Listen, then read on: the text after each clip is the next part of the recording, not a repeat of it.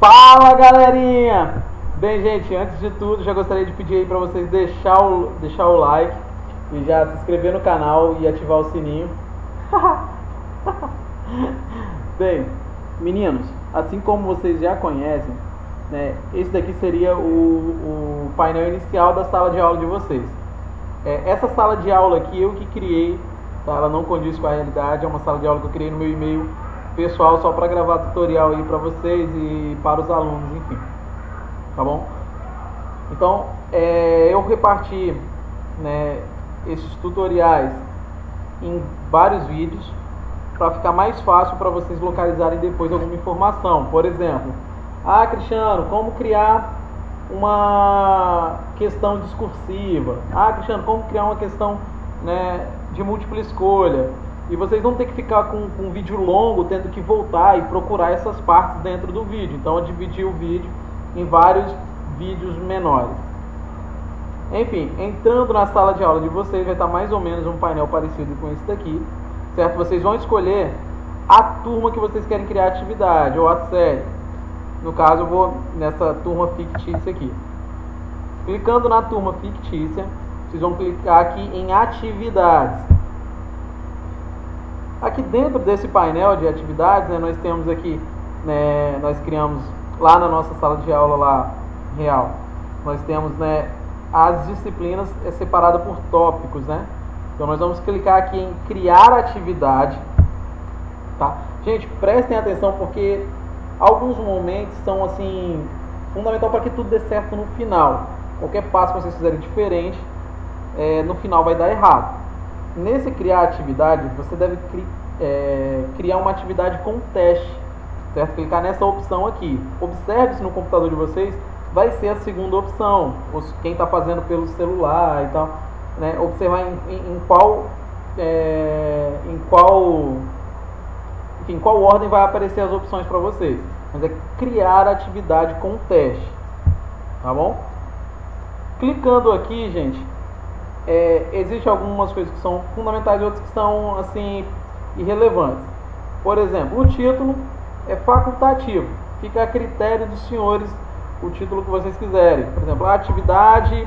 É igual a gente está criando atividade lá normalmente. Atividade. Aqui.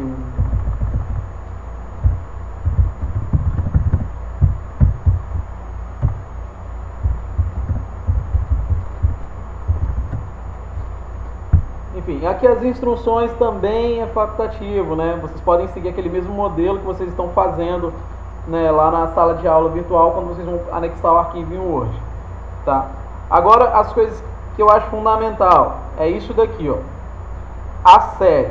Aqui você consegue selecionar mais de uma turma. Igual, por exemplo, se você vai criar essa atividade, né, aqui no caso meu está quarto ano, e eu vou usar em outras turmas, eu tenho mais de uma turma do, do quarto ano, eu posso selecionar aqui, tá vendo? vou usar nessas duas turmas que eu tenho aqui de quarto ano tá? Igual no caso da Tati, que tem 3 oitavos anos, ela pode marcar os 3 oitavos anos, se a, se a atividade né, for servir para as, para, para as três turmas dela. Tá bom? Então aqui vocês selecionam as turmas que vocês irão, irão usar. Se você tem duas turmas da mesma série, essa atividade vai servir para essas duas turmas, então vocês podem selecionar aqui. Tá bom? Outra coisa que eu acho importante é aqui na, na parte, nessa aba de pontos. Né? Como nós não estamos atribuindo ponto ainda, ou se vocês não sei, se vocês já estiverem atribuindo, é importante já preencher esse campo. Depois, se você não preencher esse campo, depois você vai ter dificuldade. Por exemplo, aqui eu coloco sem nota, como não estou atribuindo nota a essas atividades. Se você deixar esse campo sem preencher, ele vai automaticamente com esse 100 inicial que vocês viram ali. É... E o problema daquilo é que quando o aluno devolver a atividade para vocês e vocês corrigirem, né, não vai ser considerado corrigido até você atribuir uma nota. Tá bom? Então é importante que vocês, se vocês não estiverem atribuindo nota a essa atividade, vocês já marcar esse campo aqui sem nota. A data de entrega é irrelevante, você escolhe a data. O tópico é aqui onde nós selecionamos a disciplina. Por exemplo, para o Ronaldo vai ser educação física e assim sucessivamente, né?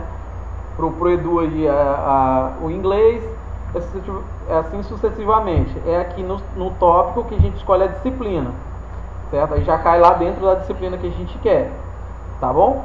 E o mais importante dessa, dessa parte é isso daqui, ó. Tá? Aqui, esse é o modelo, tá bom? Aqui você cria um formulário, tá? Clicando aqui, nós vamos ser direcionados para o nosso formulário, que é a atividade, é a estrutura da atividade, né? Que é a estrutura que os meninos acham mais fácil, tá bom? Vou clicar aqui, tá? E aqui, meus senhores, é onde nós trabalharemos a nossa atividade. É aqui que nós vamos é, montar a atividade, montar as questões, tá? montar todo o layout aí que os meninos irão é, estar acessando para responder as questões, para responder as, as, atividades, tá bom? Esse primeiro vídeo vai ficando por aqui, tá? O primordial desse vídeo é destacar essa aba aqui, né, para que vocês